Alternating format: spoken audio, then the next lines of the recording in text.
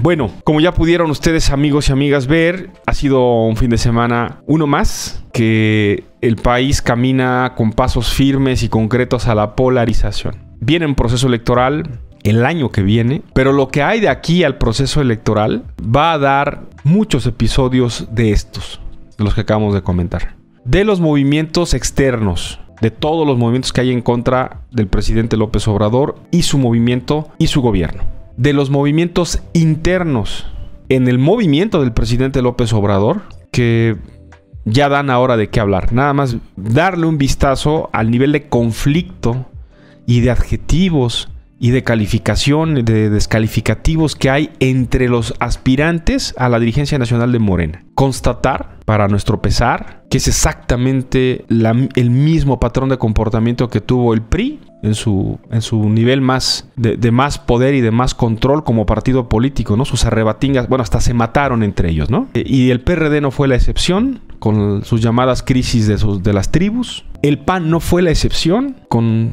que si el Yunque, que si los liberales, que si los calderonistas, que si los foxistas. Vean en qué terminó ese partido político, ¿no? En las migajas que son hoy. El Partido Verde, instalado como el, gran partido rémora, ¿no? Para donde jale, pues para allá van. Y los partidos que van surgiendo ahora. ¿A qué voy con esta reflexión final? Tal parece que hoy en día en México no hay posibilidad de mantener una postura de análisis y de observación solamente de las cosas y que obligatoriamente hay que tomar postura, ¿no? O tomar partido. ¿Se está a favor o se está en contra? Y justamente esas son, esa es justamente la, el sello de la polarización. ¿Y cuál ha sido la historia? ¿Cuál ha sido el resultado de las sociedades polarizadas? Bueno, el resultado de las sociedades polarizadas es el enojo. Y hay una recomendación de los psicólogos, de los especialistas en el, en el análisis del comportamiento del ser humano, es una sugerencia. Y la sugerencia que hacen es nunca tomes decisiones enojado, porque seguramente te vas a equivocar. El enojo es el sentimiento y la condición humana que nubla la razón, que nos lleva al sentimiento de odio, al sentimiento de resentimiento, al sentimiento de venganza, al sentimiento de... pero menos la razón. Eso es básicamente el enojo. Algo muy humano, por cierto. Entonces los, los países, las sociedades que han históricamente, ¿eh? ¿a cuál quieren ir? Hay que tomar un libro de historia, pueden, podemos revisar una parte de la historia, por ejemplo, del pueblo romano, y revisar qué le pasó a Roma siendo un gran imperio cuando eh, hubo alguien, hubo un grupo de políticos de aquel imperio que terminaron polarizando al pueblo y vinieron estos enojos enormes y tuvieron a los peores emperadores que los llevó finalmente a que aquel imperio terminara siendo pues esto, polvos y ruinas, ¿no?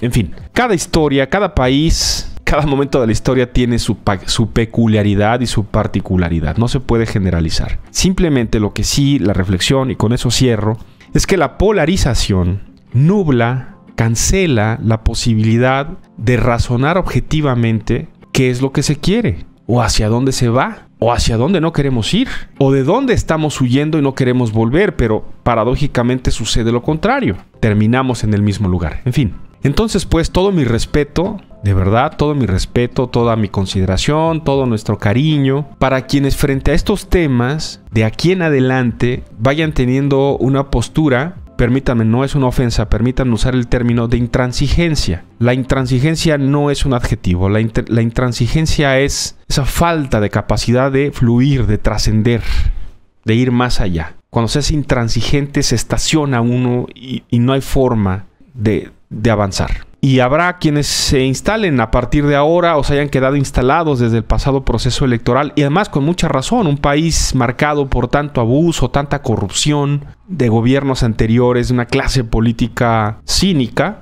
pues nos han dejado esa herencia de enojo, para algunos insuperable, para otros necesariamente convertido en una lección para aprenderla y no volver a creerles una sola palabra en lo general y dudar de todo lo que nos digan y cuestionarles absolutamente todo. Pero eso, insisto, es cosa de cada quien. Así que respetuosamente a quienes nos están pidiendo que fijemos una postura, si la petición es o estás a favor de frena o en contra de frena, no es nuestra postura. ¿Estás a favor del presidente o en contra del presidente? No, no es nuestra postura.